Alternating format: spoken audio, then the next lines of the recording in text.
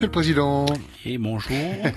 président Francis Sanfort, euh, on parle de Baltrap, vous êtes le président du Sporting Clay Club Tahiti. Pour, le, pour les intimes, c'est le SCCT, c'est ça? Tout à fait. Voilà. Alors, on va parler dans un instant de cette manifestation hein, qui vous amène dans notre studio, le Tétoa Noui, 22, 23, 24 septembre, avec un grand champion. Avant cela, je voudrais qu'on revienne sur le Baltrap. Vous êtes déjà venu sur cette antenne. Tout à fait. C'est quoi le Baltrap? Alors, le Baltrap, c'est une discipline où on utilise une arme à feu, un fusil, de calibre calibre 12 en général, voire calibre 20. C'est quoi, c'est des gros calibres ça Voilà, tout à fait, c'est un calibre qui secoue un peu. Euh, le calibre 20, donc un peu plus petit, qui secoue moins pour les juniors et voire les dames. Et le, ok, donc les, les, enfants pratiquent et les, les femmes aussi alors. Hmm. Voilà, donc à partir de 13 ans, euh, les, les, les, jeunes euh, peuvent euh, faire la discipline et les femmes ont aussi à partir de 13 ans, voire plus âgées. Et que, quand plus le calibre est, est, élevé et plus il y a, y a, du recul sur voilà, il y a, y a un peu de secousse au départ, ça surprend. Le fusil reste le même? Le fusil reste le même, il reste le même. Et bon, c'est qu'au début on appréhende beaucoup le, le recul, hein, le, hmm. le, le, bruit, le... et une fois que la personne n'appréhende plus ce, ce, bruit et ce recul, il faut essayer de casser le plateau à la sortie du lanceur, qu'on va dire. D'accord. Ce sont les mêmes fusils qui sont utilisés pour euh, pour la chasse? Au Baltrap, je, je fais le rapprochement avec la, la, chasse? Alors on peut utiliser euh, les mêmes fusils, mais euh, en général, la chasse, on, on, préconise un fusil beaucoup plus léger. Et pour le où tu as droit en général quand tu chasses, c'est un deux coups en fonction des oiseaux ou du gros gibier. Et pour le Baltrap, on préconise un fusil beaucoup plus lourd parce que c'est ça, ça peut être 100 plateaux à 200 plateaux au jour. Mhm. Donc pour la, le, le style sportif et préconise un, un fusil à, adapté pour la discipline, la chasse, un fusil beaucoup plus léger. Euh, la chasse, le gibier, donc c'est le, gibier. Vous, votre gibier, c'est ce que vous appelez des plateaux, c'est ça hein? Voilà, des plateaux. C'est fait en quoi? En terre, en, plastique, on, dire ça en argile, hein, en, argile, hein, en argile, et donc euh, il faut essayer de le casser euh, mhm. en fonction de la discipline, au premier coup, au deuxième coup. Ils sont jetés comment ces plateaux avec une machine? Voilà, donc c'est pas quelqu'un qui fait comme un frisbee sur le côté, non. Voilà, on peut faire comme ça pour le fun, mais dans dans le cadre de compétition, euh, celle qu'on organise qui est de niveau mondial, nous avons donc un, lanceur avec des angles bien définis.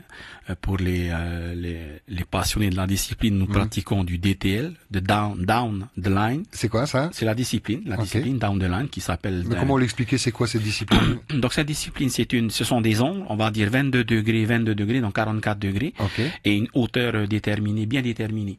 Donc vous avez un plateau qui sort et aléatoire. On ne sait pas où est-ce qu'il va aller à gauche, à droite, en haut, en bas. Ok, donc il faut vraiment être avoir du, voilà, être bien concentré et bien visé. Et bien visé, et essayer de le casser euh, au premier coup si c'est possible, voire au deuxième coup. On va parler dans un instant du niveau et puis du nombre de, de pratiquants hein, du, du baltrap. Moi, ce que j'avais envie de savoir, c'est comment on sait que les, les, armes à feu sont euh, réglementées au, au Fénois.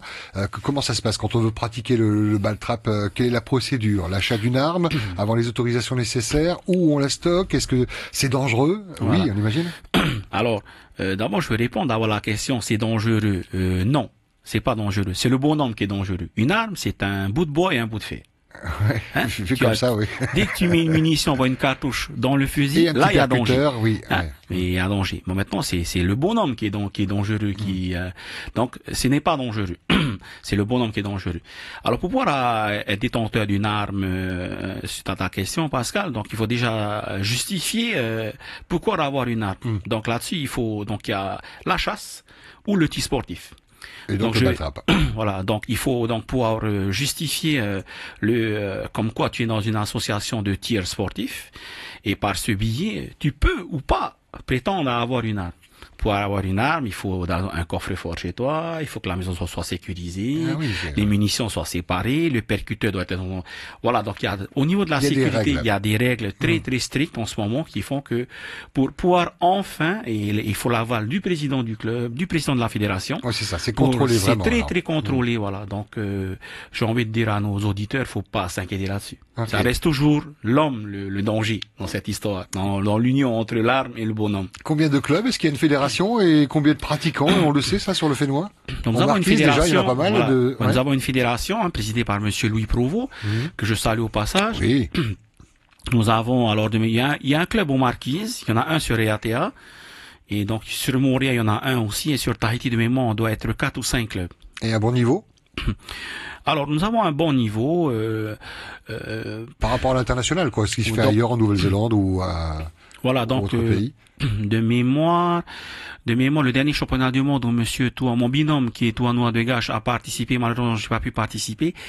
Euh, je crois que de mémoire, il finit à 890 sur 900. Sur 900, ok. De mémoire, hein, voilà.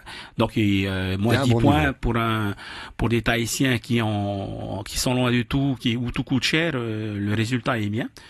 Euh, pour ma part, moi, je, je reviens avec un titre de champion de France en 2014 ou 15. Excusez-moi, j'ai plus la- où j'ai fini médaille de bronze euh, au championnat de France. euh. Donc amené à sortir du Fénois, aller Ouais. à des compétitions internationales. euh, voilà. Donc, Comment ils sont perçus les Tahitiens comme des, des, des, des gens à, à craindre ou alors euh, ils ne connaissent pas votre niveau alors, on revient d'un championnat de- du monde là en France. On a fait euh, Cerné, on a bien tiré, on a fait de la fosse olympique, on a fait le championnat du De monde. la à- fosse olympique, c'est quoi?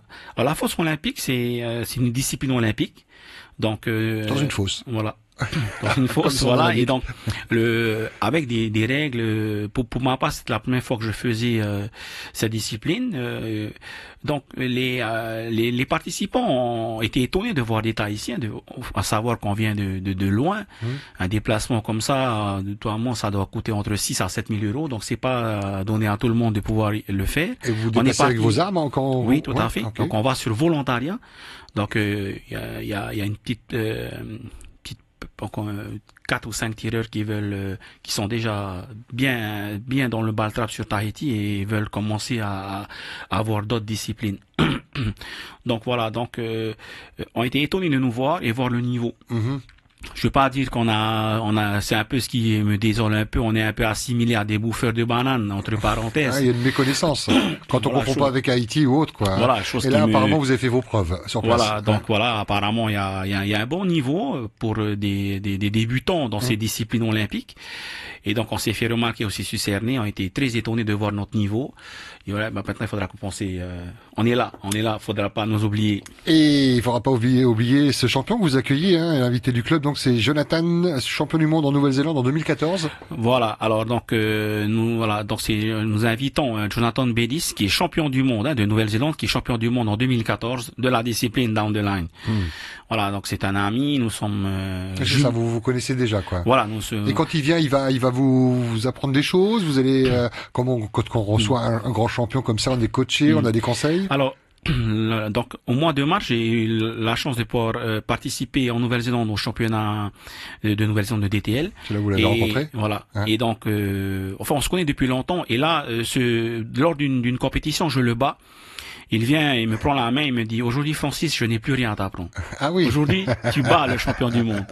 Donc je te l'avais dit il y a quelques années, un jour tu me battras. C'est fait. Maintenant, allez, euh, comme on dirait, Inch'Allah, et accroche-toi. Hein. Après, il y a des jours on est dedans, des jours on n'est pas dedans. Donc ça m'a fait plaisir qu'un champion du monde me dit qu'aujourd'hui je n'ai plus rien à t'apprendre. Mm.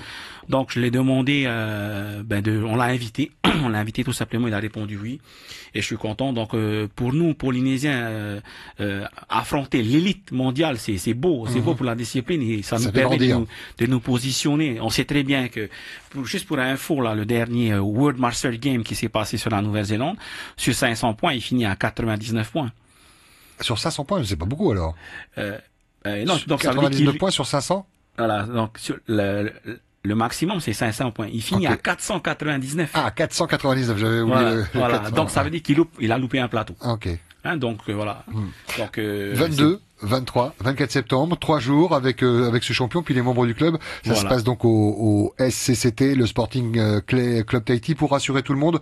Euh, vous tirez pas sur les, oi- euh, les oiseaux, les avions. Vous êtes où à, Voilà, hauteur dans donc la on est sur les hauteurs du Mont Maro, Mhm. donc sur un site fédéral où la sécurité, il n'y a pas de souci. Il n'y a pas de vol d'hélicoptère, d'avion qui passe par Il là, n'y a non pas de drone qui passe encore. Non plus. Non. Bah, même pour les drones, il faut les autorisations. Tout à hein. fait, Ouais, voilà. ouais. Non, c'est sécurisé. Euh, personne n'est. euh, tant qu'on est derrière le lanceur, il n'y a pas de souci. Et avant de vous laisser le mot de la fin, une dernière question. Qu'est-ce que ça procure quand on pratique cette activité? Est-ce que ça demande beaucoup de concentration? Est-ce que, quelqu'un qui est nerveux peut justement canaliser son énergie? Ça procure quoi de participer, de faire du Bah, baltram dé- déjà, quand, bah, moi, ça me procure beaucoup de bien, tu vois. le- moi, j'ai toujours été passionné d'âme depuis très petit et aujourd'hui, grâce à ce sport, ça me permet de, de, ben, moi, j'ai qu'une envie, c'est de monter sur le parti et de casser des plateaux, quoi. Le président Francis Sanfort, on parlait de baltrap avec le Sporting Clay Club Tahiti. Le mot de la fin, Francis. Propre Tahiti ou comme vous Euh, le en français.